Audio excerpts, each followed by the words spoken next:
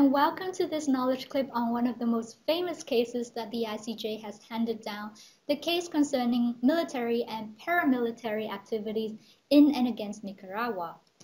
This case was brought by Nicaragua against the US before the ICJ in 1984 for activities that the US conducted in Central America in the period from 1981 to 1984.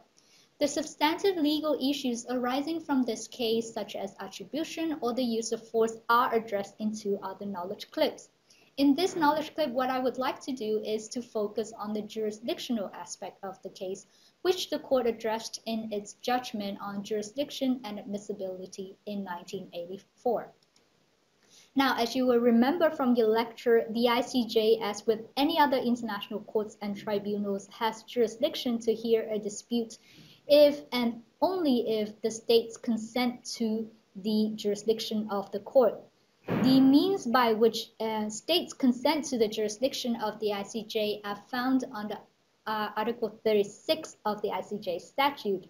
In the Nicaragua case, two of these bases were invoked, but for the purposes of the knowledge clip today, we will only focus on the optional clause declarations issued under Article 36, paragraph 2 of the ICJ statute. The wording of Article 36, paragraph 2, you can see on the slide now. Now, in this case, uh, both Nicaragua and the U.S. had issued uh, optional clause declarations accepting the jurisdiction of the ICJ, but there were uh, problems uh, arising from each of these declarations.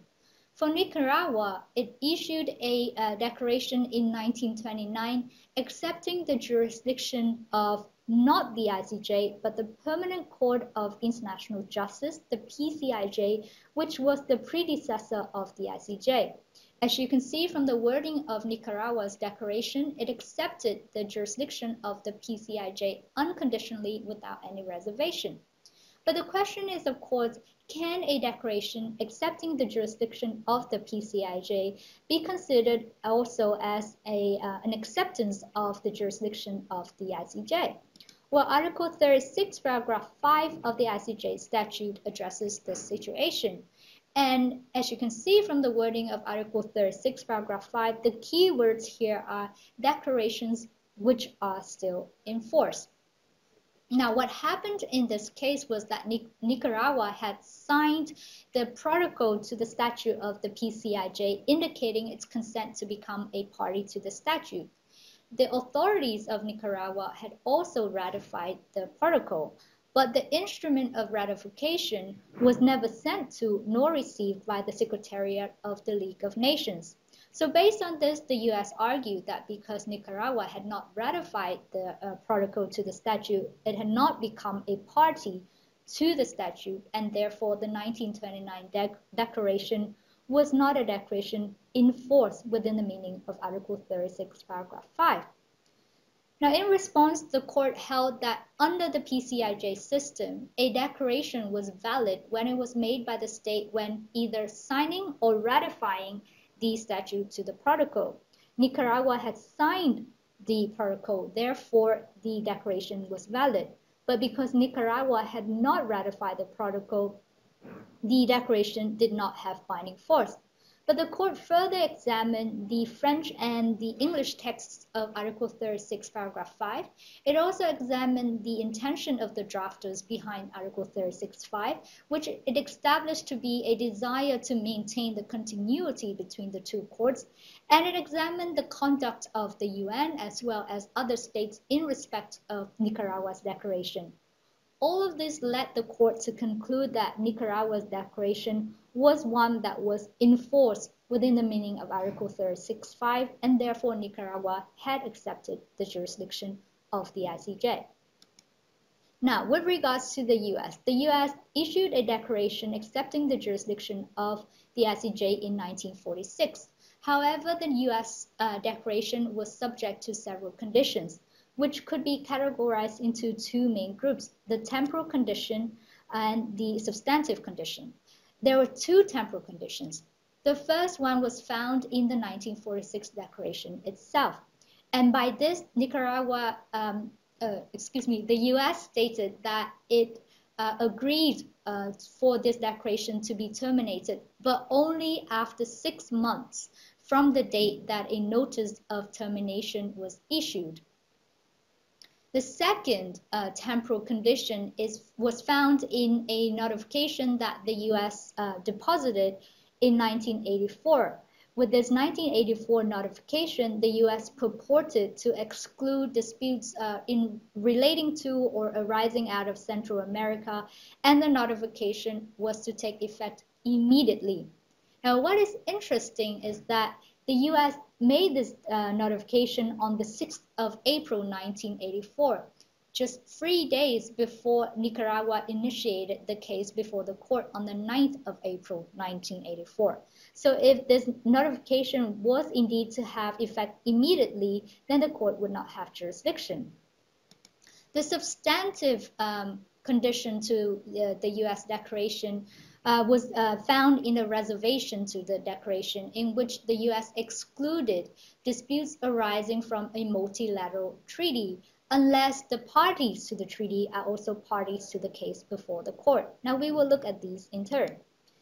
Regarding the temporal condition, the U.S. argued that it had committed by virtue of its 1946 declaration um, to terminate the declaration only on six months notice. In contrast, uh, Nicaragua's 1929 declaration was indefinite in duration, and therefore it was subject to immediate termination without the need for prior notification. On this basis, the U.S. argued that Nicaragua and the U.S. had not accepted the same obligation as required under Article 36, paragraph 2 of the ICJ statute. What did the court say? Well, the court said first, um, Optional clause declarations under Article 36, paragraph 2 were unilateral declarations that states were free to make as well as free to attach conditions or reservations.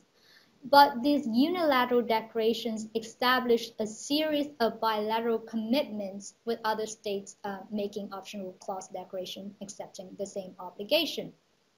So in this case, the U.S. had already committed itself in the 1946 declaration to terminate the uh, declaration only on six months notice. Therefore, it had made a solemn and formal commitment not to terminate this declaration before the six months notice has passed.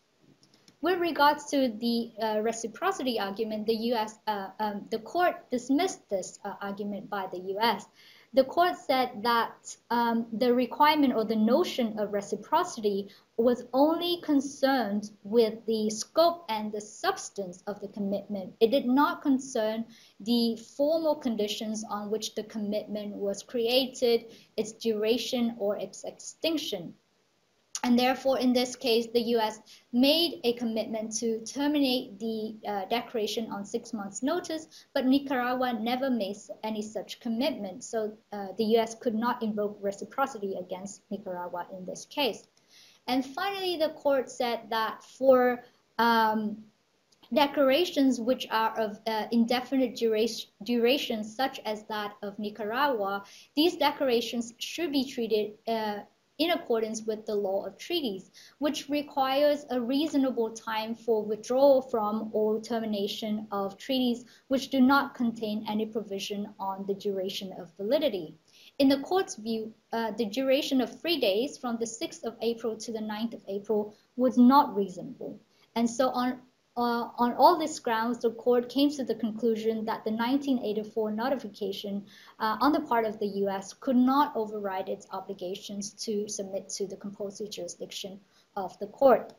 And finally, with regard to the multilateral treaty reservation, indeed the court found that El Salvador, which was a party to the UN Charter as well as the Charter of the Organization of American States, was a party uh, that could be affected by the decision of the uh, court in relation to these two charters, and therefore the U.S. reservation had effect, and the court was excluded, or the court did not have jurisdiction over any disputes arising from these two uh, instruments. So thank you very much for your attention.